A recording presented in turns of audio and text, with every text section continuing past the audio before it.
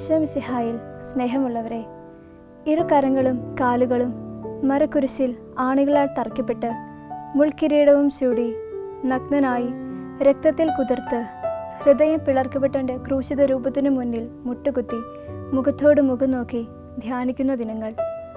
അവൻ മുറിയപ്പെട്ടതും രക്തം ചൊരിഞ്ഞതും അവഹേളിതനായതും ചങ്കുകീറി അവസാനം പ്രാണം വിടിഞ്ഞതും എനിക്കും നിങ്ങൾക്കും വേണ്ടിയാണ്. പിറന്നു വീണപ്പോഴും പ്രാണൻ പകുത്തു നൽകിയപ്പോഴും അവന്റെ ചങ്കിൽ ഒന്നേ ഉള്ളൂ. അത് സ്നേഹം മാത്രമാണ്. വിശുദ്ധ യോഹനാന്റെ സുവിശേഷം ഏഴാം അധ്യായം ഇരുപത്തിയഞ്ച് മുതൽ മുപ്പത്തി ഒന്ന് വരെയുള്ള വാക്യങ്ങളിൽ മരണത്തെ ഭയമില്ലാതെ സ്വന്തം ജീവൻ പോലും ഗൗനിക്കാതെ തന്റെ അപ്പനെക്കുറിച്ച് പ്രഘോഷിക്കുന്ന പുത്രന്റെ ചിത്രമാണ് നാം ദർശിക്കുന്നത്. പിതാവിന്റെ അചഞ്ചലമായ സ്നേഹം മനുഷ്യഹൃദയങ്ങളിൽ പ്രതിഷ്ഠിക്കുവാൻ സ്വയം വെടിയുന്ന ഈശോയുടെ ചിത്രം. ചുറ്റുമുള്ളവർ അംഗീകരിക്കാതെ വിശ്വസിക്കാതെ ദൈവം നൽകിയ അനുഗ്രഹങ്ങളെ തിരിച്ചറിയാതെ ഭാവിയിലേക്ക് നോക്കി പ്രതീക്ഷയോടെ മറ്റൊരു മിശിഹായെ വരവേൽക്കുവാൻ സജ്ജരാവുന്നത് മനസ്സിലാക്കിയിട്ടും ആ നൊമ്പരം ഉള്ളിലൊതുക്കി പിതാവിന്റെ സ്നേഹം പകർന്നു നൽകുവാൻ ഈശോ തിടുക്കം കാണിച്ചു.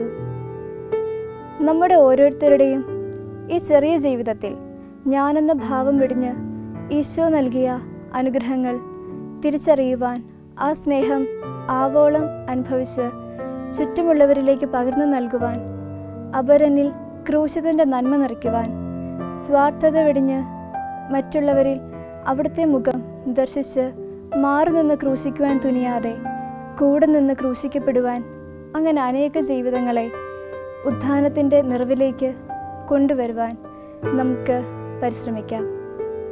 ഈ നോമ്പ് ദിനങ്ങൾ ഈശോയോടൊപ്പം മരിച്ച് അവിടത്തോടൊപ്പം ഉയർക്കുവാനുള്ള ഒരു തീർത്ഥയാത്ര ആവട്ടെ എന്ന് നമുക്ക് വിശുദ്ധമായ ചിന്തകളോടും പ്രവൃത്തികളോടും കൂടെ പ്രാർത്ഥിക്കാം. അതോടൊപ്പം നമ്മുടെ ദേശത്തെ തകർക്കുന്ന എല്ലാവിധ പകർച്ചവ്യാധികളിൽ നിന്നും അക്രമങ്ങളിൽ നിന്നും നമ്മുടെ ദേശത്തെ രക്ഷിക്കുവാനുള്ള കൃപ നൽകണമേ എന്ന് നമുക്ക് സർവശക്തനായ ദൈവത്തോട് പ്രാർത്ഥിക്കാം. അമ്മേ കുരിശിൽ